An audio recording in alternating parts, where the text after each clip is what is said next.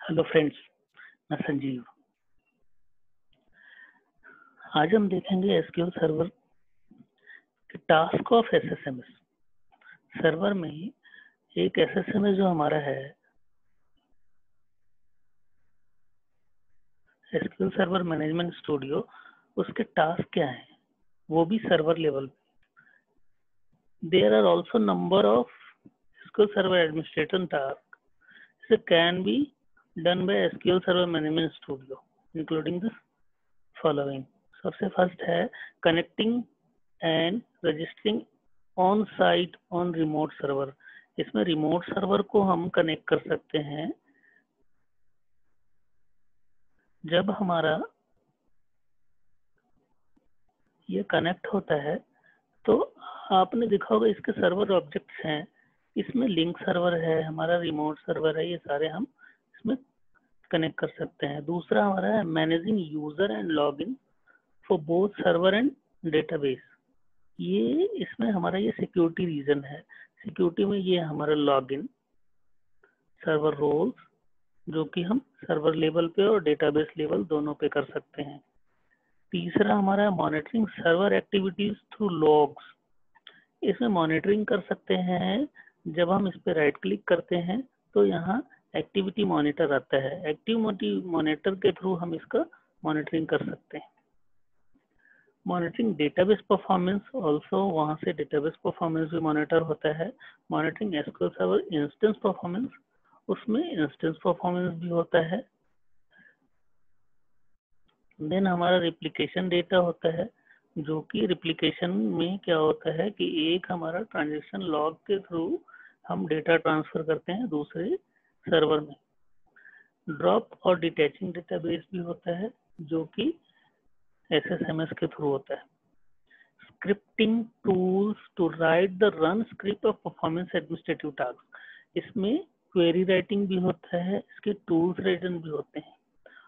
Automating data management activities इसमें कर सकते हैं। ऑटोमेटिंग डेटाबेस मेंटेनेंस प्लान इसमें बनता है। मैं वो आपको बाद में दिखाऊँगा कि इसके प्लान मेंटेनेंस प्लान कहाँ बनते हैं? Registering server for manage administration हम इसमें नए सर्वर को रजिस्टर भी कर सकते हैं। ये सब चीज़ें जो है, हमारा इसमें कोर डेटाबेस डीबीए पार्ट है। इसलिए मैंने इसमें सब कुछ जो है, वो डीबीए पार्ट से उठाया है। अब हम इसमें डेटाबेस टास्क ऑफ़ एसएसएमएस देखते हैं। सर्वर स्टूडियो का मैनेजमेंट स्टूडियो में डेटाबेस के लिए क्या टास्क हैं? अब हम वो देखते हैं। हमारा पहला टास्क जो हो जाता है, वो हमारा है क्विकली क्रिएट और मॉडिफाई एसक्यूएल डेटाबेस हम इसमें सीधा का सीधा राइट क्लिक करते हैं न्यू डेटाबेस हमारा डेटाबेस यहाँ क्रिएट हो जाता है न्यू करते हैं, जो कि हमारा इस एसएसएमएस के थ्रू होता है।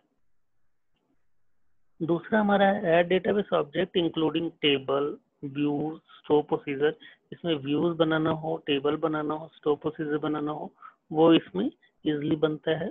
मॉडिफाई डेटाबेस ऑब्जेक्ट इसमें मॉडिफाई कर सकते हैं ऑल्सो ड्रॉप कर सकते हैं। Test database object using external testing tools दूसरे टूल्स के थ्रू इसको हम टेस्टिंग भी कर सकते हैं। Deploy database to their respective on site remote और क्लाउड बेस्ड सर्वर इन्वायरमेंट हम इसे cloud based server suppose Azure में हमारा डेटाबेस है और हम इस एस एस एम एस के थ्रू वहाँ से डेटा फैच करना चाहते हैं तो वो भी हो जाता है। Query database to get result इसमें क्वेरी कंसोल बनता है। हम न्यू क्वेरी जब हम करते हैं तो ये हमारा क्वेरी कंसोल आता है, जिसमें हम जो क्वेरी लिखते हैं, उस क्वेरी का इसमें नाम आता है। Suppose select name from sys dot.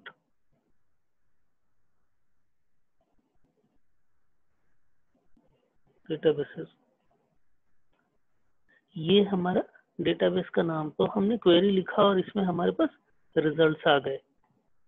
Next हमारा है optimise database to improve response time ये हमारा एग्जीक्यूशन प्लान के थ्रू होता है, ये हम बाद में पढ़ेंगे। Manage database such as backup restore and maintenance plan इसमें हम बैकअप कर सकते हैं रिस्टोर कर सकते हैं, इसके मेंटेनेंस प्लान बना सकते हैं। ये भी हम बाद में देखेंगे। इंपोर्ट और एक्सपोर्ट डेटा इसमें डेटा इंपोर्ट भी होता है और एक्सपोर्ट भी होता है, वो भी हम देखेंगे। जनरेट डेटा और अदर ऑब्जेक्ट स्क्रिप्ट इसके अलग अलग स्क्रिप्ट बनाते हैं, वो भी देख रहे हैं।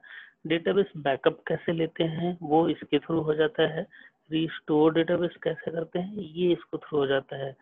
तो आज हमने देखा कि इसमें सर्वर टास्क ऑफ़ एसएसएमएस क्या है और डेटाबेस टास्क ऑफ़ एसएसएमएस क्या है। नेक्स्ट वीडियो से हम डेटाबेस क्रिएशन से स्टार्ट करेंगे। After that core DBA concept start करेंगे। Thank you